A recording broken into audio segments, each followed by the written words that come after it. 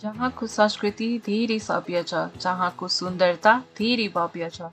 अलौकिक सुन्दरता लिएर ऐश्वर्यमय सौन्दर्य तपस्किँदै आगन्तुकहरूको आगमनको सदैव प्रतीक्षामा रहने स्वागत छ यहाँलाई बन्दीपुरमा